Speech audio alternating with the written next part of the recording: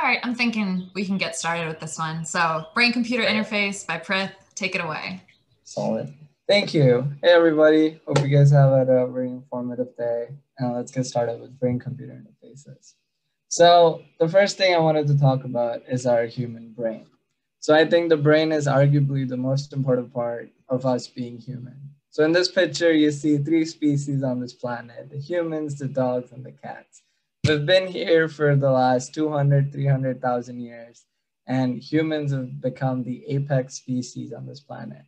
So why did that happen? I think brain, our most important organ, has been has played a huge part in making us humans the biggest species on this planet. Our ability to communicate has made us stronger and smarter. So if you look past the past 200,000 years of evolution, the human evolution, we've uh, mastered the art of dividing work.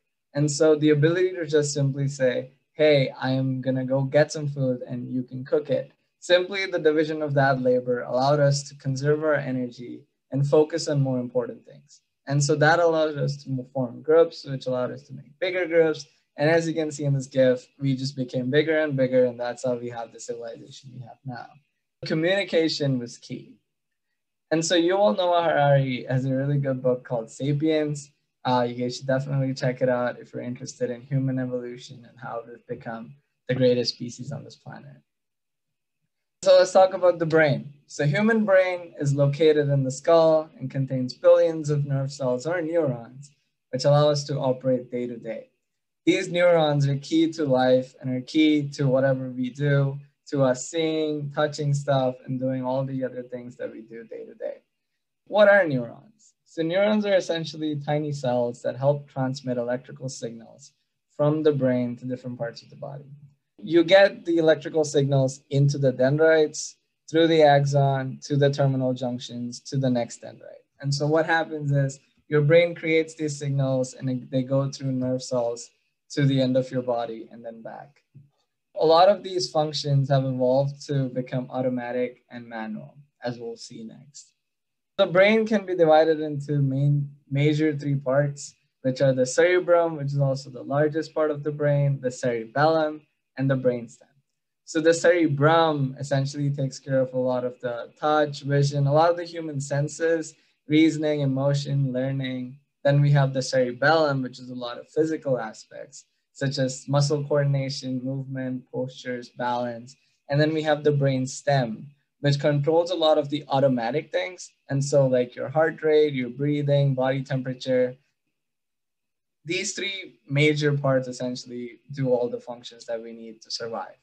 And so, you see brains and you see all these wrinkles.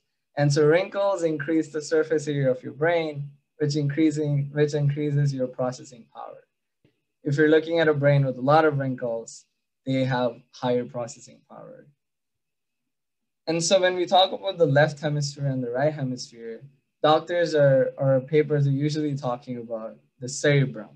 So the left hemisphere is a lot of analytical, logical, and detailed stuff, while the right hemisphere is a lot of creative, imaginative, and empathetic stuff.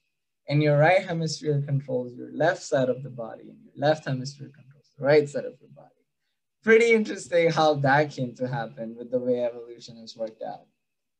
And so if you look at the smaller, smaller regions in your brain, you can divide them into different lobes, like the parietal lobe, the occipital lobe, the temporal lobe, and the frontal lobe. And then other parts like the basal ganglia, thalamus, and then hypothalamus, and the cerebellum and brainstem. So there's a lot of different functions of a lot of different parts of the brain where all of that happens. So location of where these things happen is really important when you talk about the brain computer interfaces, as we'll see in the next couple slides. Coming back to the brain stem, the brain stem is, a, is the essentially the connecting portion between our brain and our body.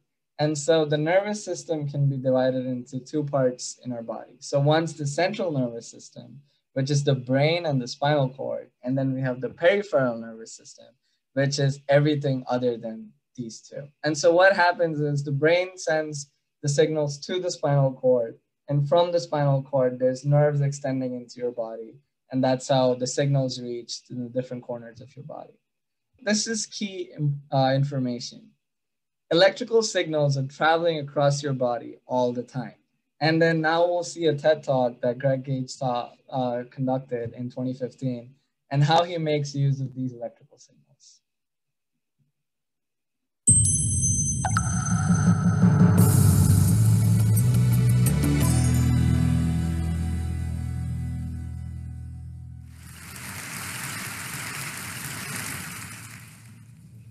The brain is an amazing and complex organ. And while many people are fascinated by the brain, they can't really tell you that much about the properties about how the brain works because we don't teach neuroscience in schools.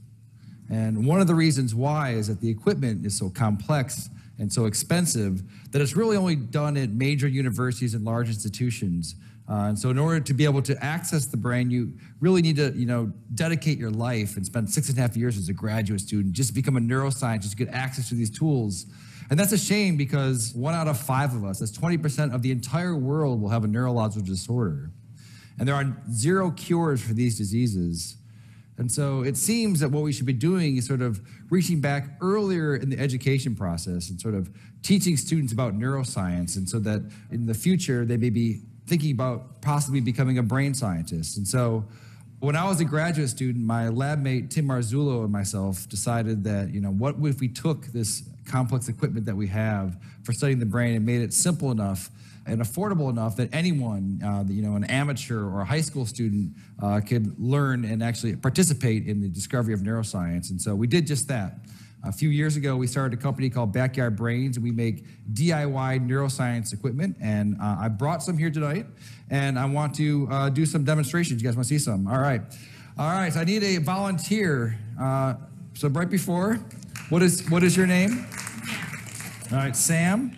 Uh, I'm going to record from your brain. Have you have you had this before? No. Okay. All right. I need you to stick out your arm for science. Roll up your sleeve a bit. All right. And so what I'm going to do, I'm putting electrodes on your arm, and you're probably wondering. I just said I'm going to record from your brain. What am I doing with your arm? Uh, well, we you have about 80 billion neurons inside your brain right now. They're sending electrical messages back and forth and chemical messages.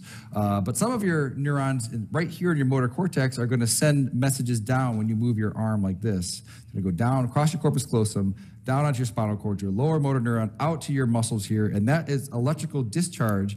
It's going to be picked up by these uh, electrodes right here. And we're going to be able to listen to exactly what your brain is going to be doing. So I'm going to turn this on for a second. Have you ever heard what your brain sounds like?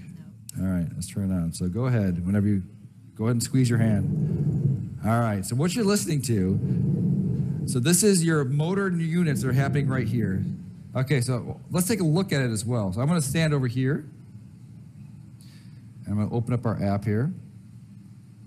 So now I want you to squeeze. Yeah, so right here, these are the motor units that are happening from her spinal cord out to her muscle right here. And as she's doing it, you're seeing the electrical activity that's happening here. We can even click here and try to see one of them. So keep doing it really, really hard. Yeah, so now we've paused on one motor action potential that's happening right now inside of your brain. Okay. Uh, do you guys want to do see some more? All right. That's interesting, but let's get it better. Okay. Uh, I need one more volunteer. Okay. What is your name, sir? Miguel. Miguel. All right.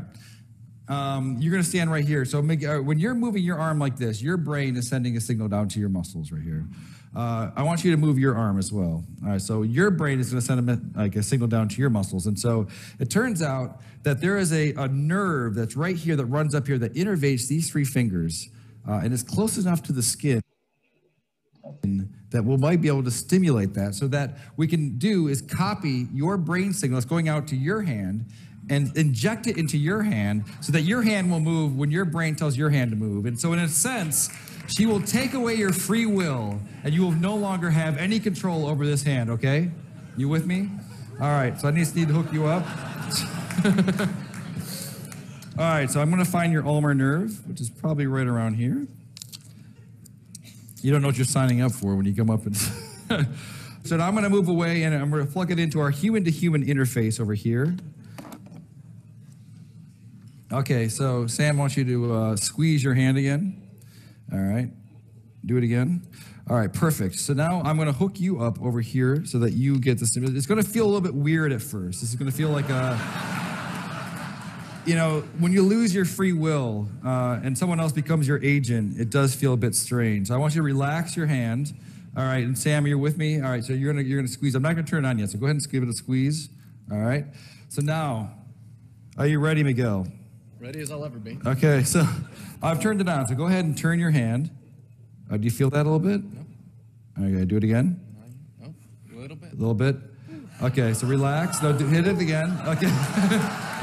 oh, perfect, perfect. All right, so relax. Do it again. All right, so now. All right, so right now, your brain is controlling your arm and it's also controlling his arm. So go ahead and just do it one more time. All right, so that's perfect. So now, what would happen if I took over my control of your your hand? And so just relax your hand. What happens? Ah, nothing. Why not? Because the brain has to do it. Now you do it again.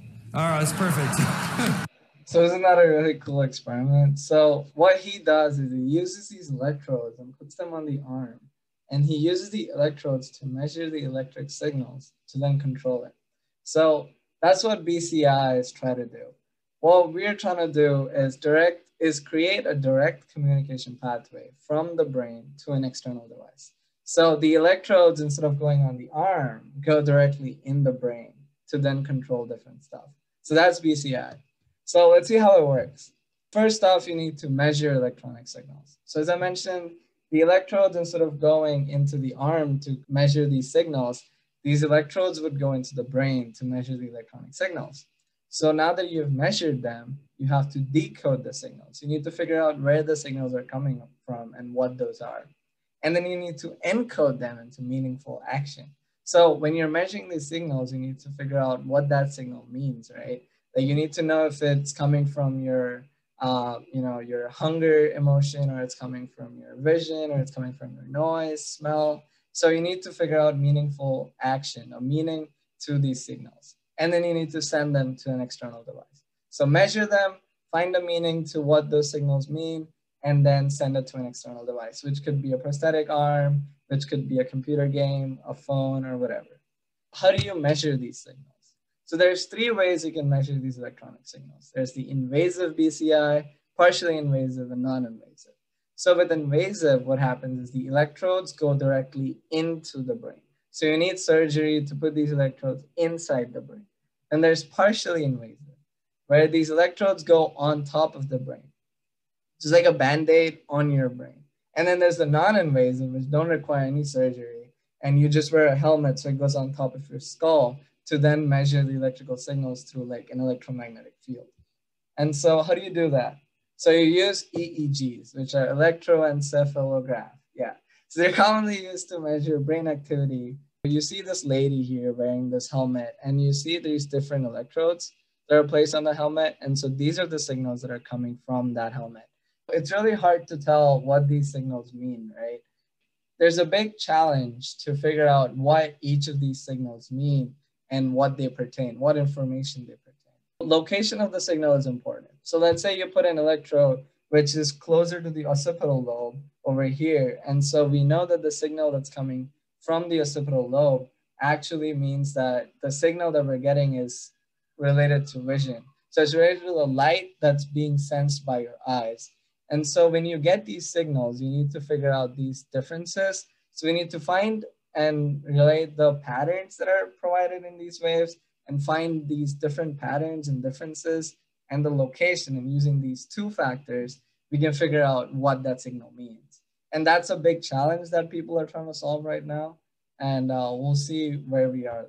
When we talk about these signals, so every person has a different brain has, and like, you know, the signals that come from each brain are also different. So if I say play music, but if somebody else says play music, like their signals are going to be similar, but not same. Similarly, if I just say play music, or if I say play Post Malone, then these signals are going to be similar, but not exactly same. So we need to figure out a method to differentiate these signals so that if we connect it to an external device, the external device can play the, you know, can function the proper command.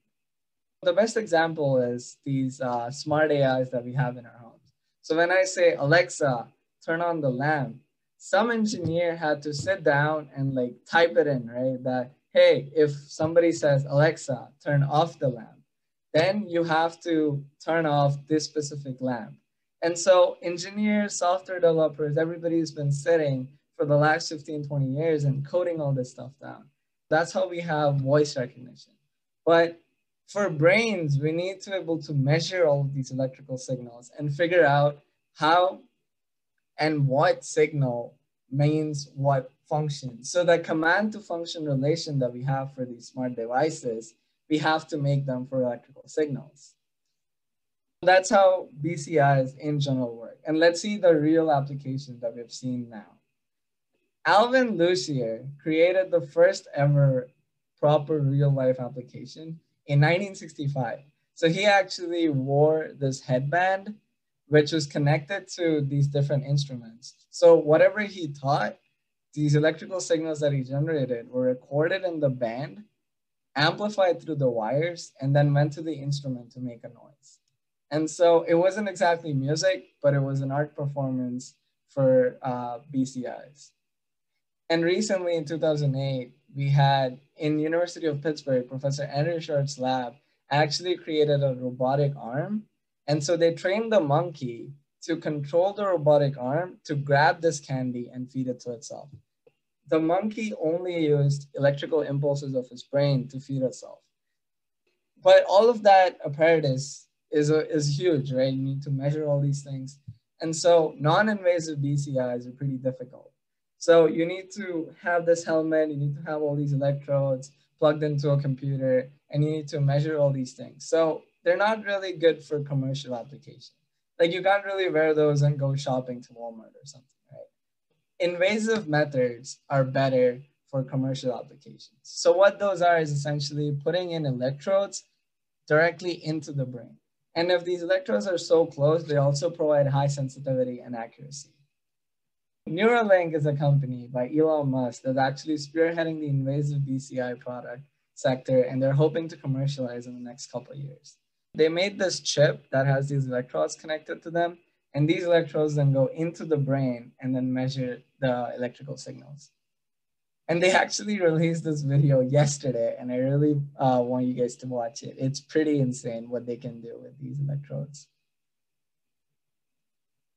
This is Pager, He's a nine year old macaque who had a Neuralink placed in each side of his brain about six weeks ago. If you look carefully, you can see that the fur on his head hasn't quite fully grown back yet. He's learned to interact with a computer for a tasty banana smoothie delivered through a straw. We can interact with the Neuralinks simply by pairing them to an iPhone, just as you might pair your phone to a Bluetooth speaker. The links record from more than 2,000 electrodes implanted in the regions of Pager's motor cortex that coordinate hand and arm movements. Neurons in this region modulate their activity with intended hand movement. For example, some might become more active when he moves his hand up and others when he moves it to the right. By recording from many neurons and feeding their activity into a decoder algorithm, we are able to predict Pager's intended hand movements in real time.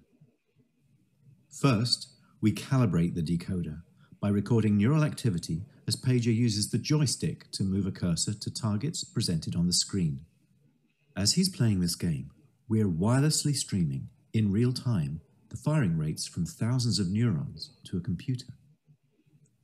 Using these data, we calibrate the decoder by mathematically modeling the relationship between patterns of neural activity and the different joystick movements they produce.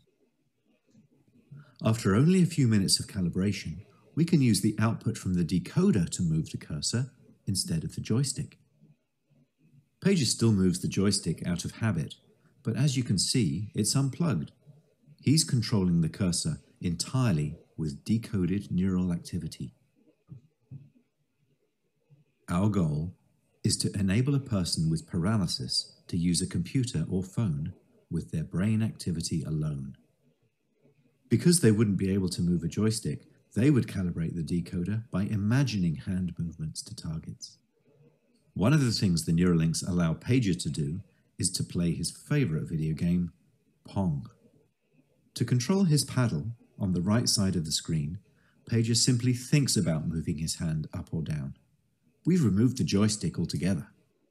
Now that he's up to speed, let's increase the difficulty and see how well Pager can play with the Neuralink.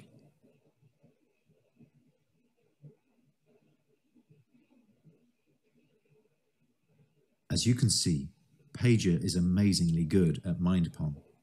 He's focused, and he's playing entirely of his own volition. It's not magic. The reason Neuralink works is because it's recording and decoding electrical signals from the brain. Great game, Pager. And what better reward for a monkey than a banana?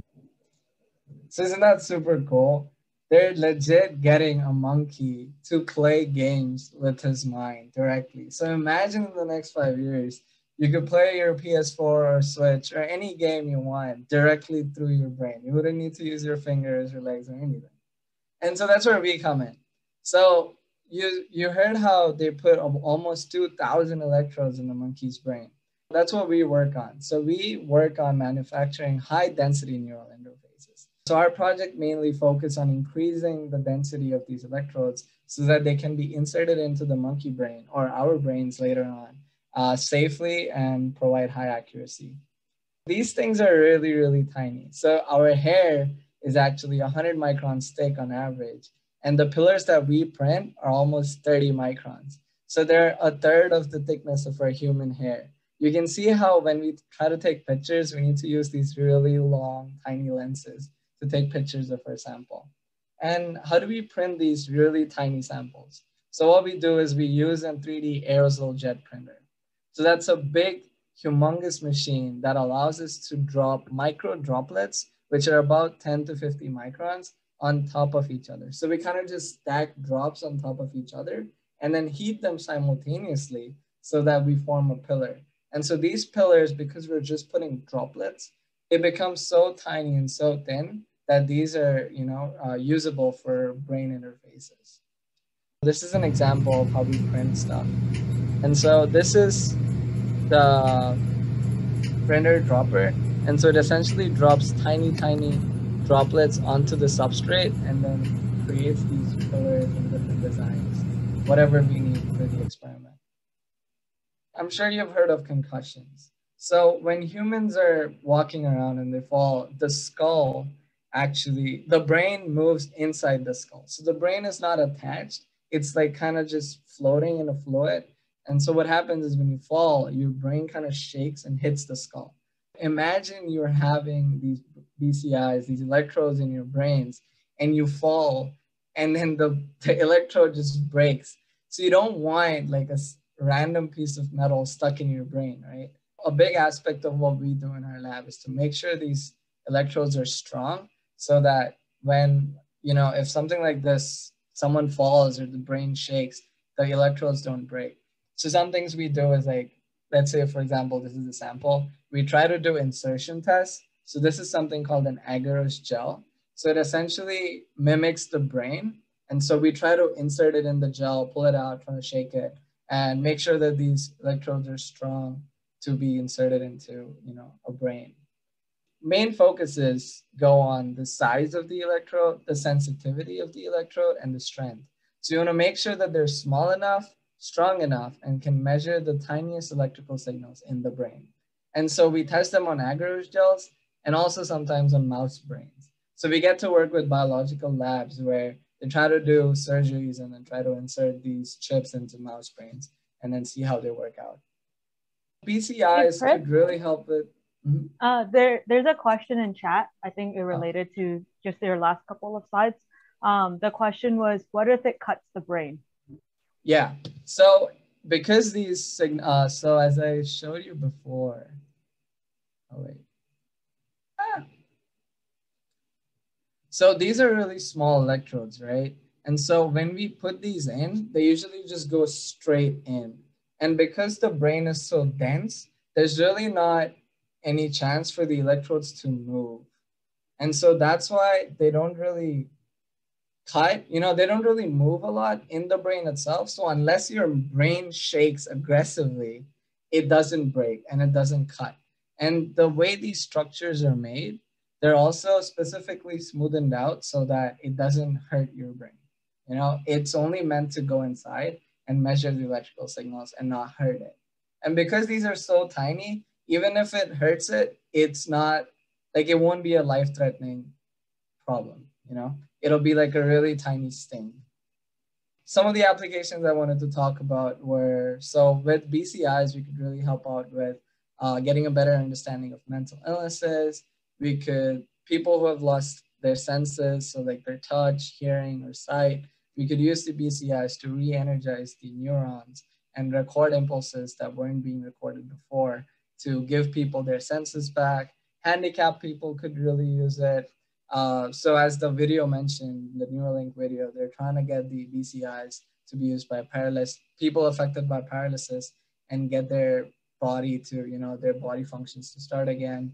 And it'll be even helpful for prosthetics because if we have uh, neuro-connected prosthetics, these can be directly controlled from the brain and it'll be a lot more accurate and a lot more smooth operation. And it's not just for medicine either. So with just normal stuff, you could imagine just unlimited, anything you could do with these BCIs. You could drive a car, you could use your phone, you could have an AI inbuilt in your head. You could just close your eyes and play a VR game I don't know if you guys have seen, but in Matrix, there's a scene where they install Kung Fu in Keanu Reeves' brain. So imagine a future where you're sitting in class and you want to study something and you can just plug and play, just download it into your brain. Your math textbook, science textbook, any movie or anything.